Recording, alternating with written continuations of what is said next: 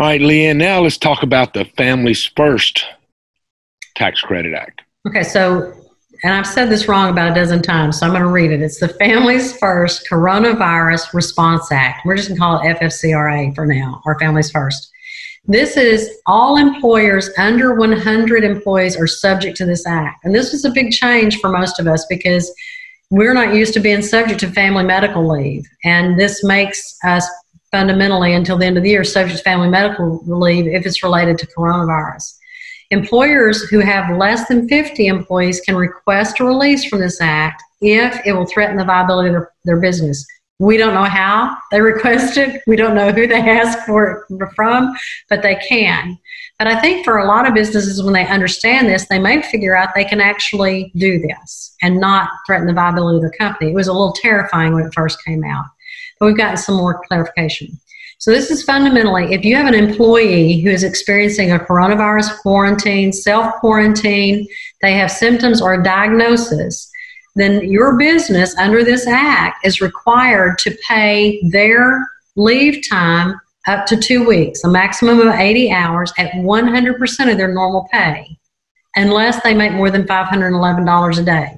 If they make more than that, you only pay 511 but most of our um, employees are going to be less than that so you have to pay their leave time up to 80 hours for two weeks at 100% of their normal pay if they are home taking care of a person who's sick, you have to pay the same amount of time, but you get to pay two thirds of their normal amount.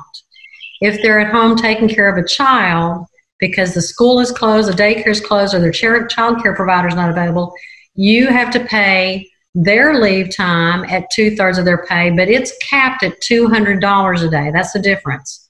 If you're paying them to stay home taking care of themselves or someone sick, it's capped at 511 um, if you are paying them to take care of a child, it's capped at $200 a day. Still, most of our employers, that would be, um, for most of their employees, that would be their full pay rate. And, but you pay it at two thirds. Here's what, that was the terrifying part for most of us. We thought there's no way I can't do that. I don't have the cash flow.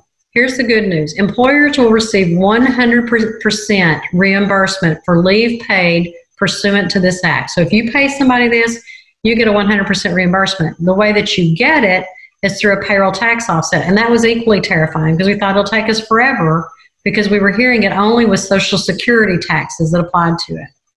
The most recent guidance says it's the same way as the ERC. You hold back anything you would pay as a federal tax deposit. That includes income withholding, both sides of Social Security, both sides of Medicare. You hold that back until you've paid what you owed yourself for these wages. If it's more than what you have, you can request a credit. When that credit is applied, it's refundable, and so that check can be written back to you. So that, you know, worst case scenario, you're talking about you're holding back every month, and then at the end of the quarter, you can request that credit. You can even pre request the credit based on your estimates because you know how long people are going to be out. So that's kind of the better news about FFCRA.